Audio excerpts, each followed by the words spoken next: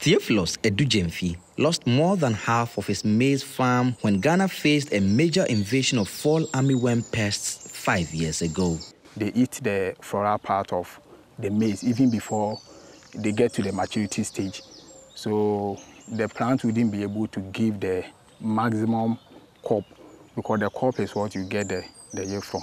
Uh -huh. So most of the plant will go usually, but the yield that you expect from the crop as bigger as my hand, you will not get it.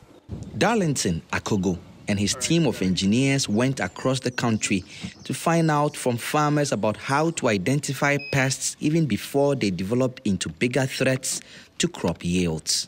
The innovation gives the GPS coordinates of where the pests are so farmers can cut the hours spent manually in looking for diseases on farms. You want to be able to use technology to understand each plant, understand what they want, and then provide it for them. So that's where you know the drones and AI system come in. We can tell each plant is it diseased or not, and then you respond to it accordingly. Uh, let's see if what the AI system has discovered.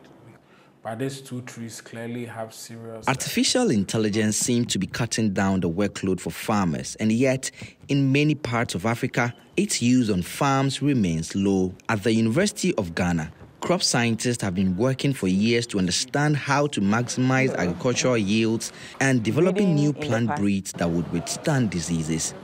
Rita Akweli Ajay is a lead researcher here. On average, it takes you between um, 8 to 10 years to be able to develop one uh, variety that you can call well developed and ready to be sent out to the market.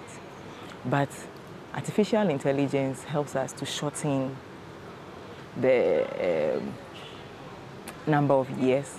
The move from old forms of farming to the use of AI has become even more urgent to sustain food systems in many countries already facing food insecurity.